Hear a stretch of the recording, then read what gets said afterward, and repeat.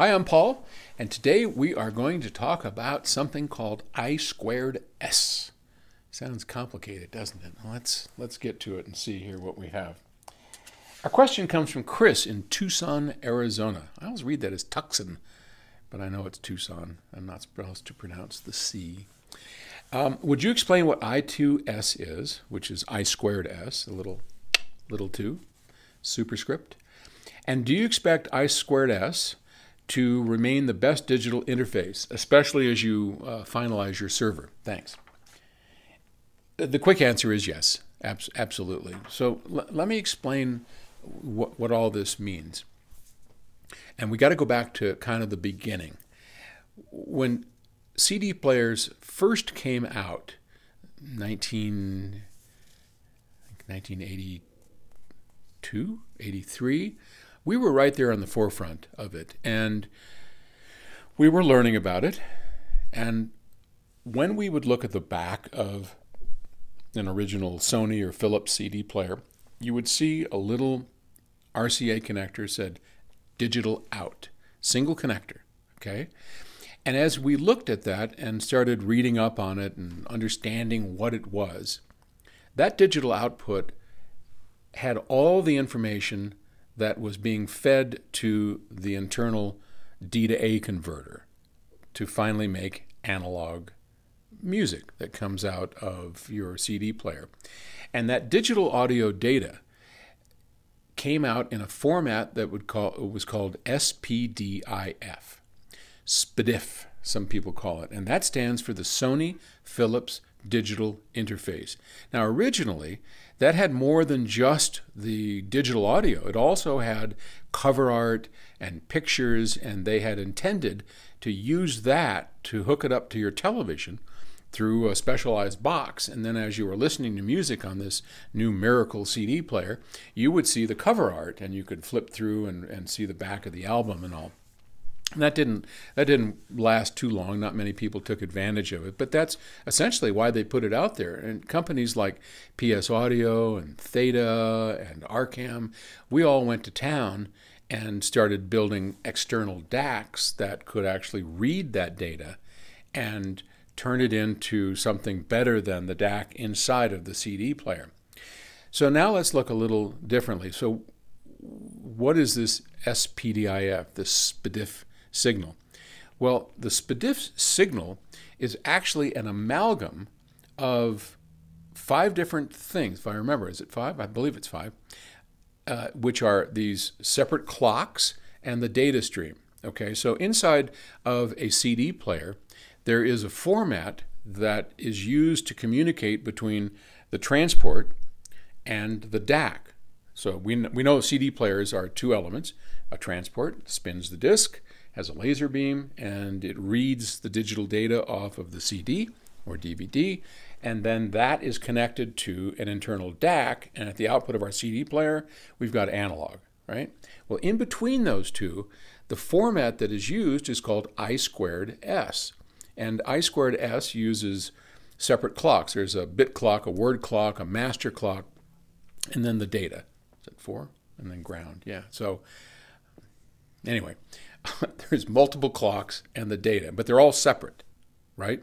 And it's important because the DAC needs to know uh, the, what the master clock's doing, what the word clock tell it, word, word. Every 16 bits, you got a word. And then the bit clock, which is going through with all the individual bits. And then the master clock, which keeps everything going. So all those are separate. And then, of course, the digital data itself is separate. Now, it won't operate without this I squared S data. But Sony didn't want to put out a, a, a four tiered or a five tiered connector because that who, who has those right i mean that's it's not something that was around then. It still isn't around much today uh, in, in the form that we might think, but, but there actually is, and I'll tell you about it.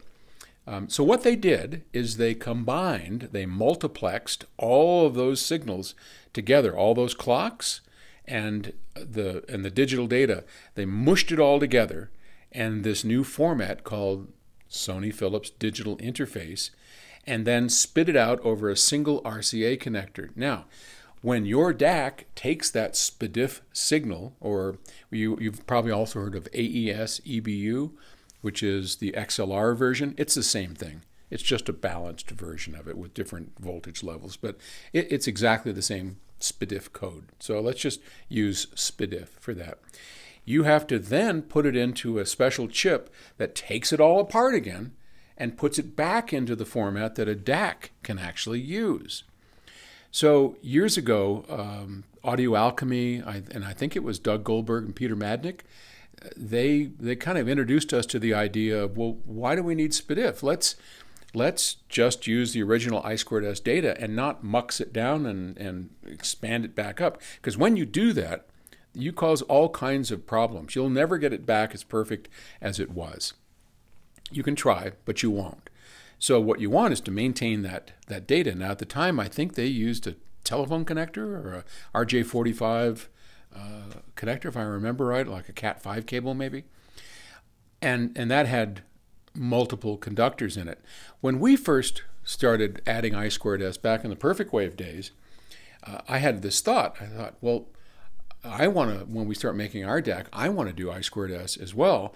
And I started scratching my head. Well, what could we use as a as a uh, connector, a, a, cable. What what out there has all these conductors in a perfect shielded cable? Got to be something because I don't want to have to make a special cable because that that's not great for a commercial success. And then it dawned on me, boink, light bulb, an HDMI cable, an HDMI cable, which is a high definition uh, uh, uh, musical interface. Is that what it is? No, media. I think it's a media interface. Anyway, I, I can't remember exactly what HDMI stands for, but it has more conductors than we need, and it's extremely well shielded, and it carries high frequency signals beautifully. So we used HDMI, not in its format of, of the high definition uh, interface, but we used the conductors inside and the cable that connected everything, and it works great. So I probably will never uh, get away from uh, wanting our company to have I squared S, whether we continue using HDMI, I don't know, but I, I, suspect so.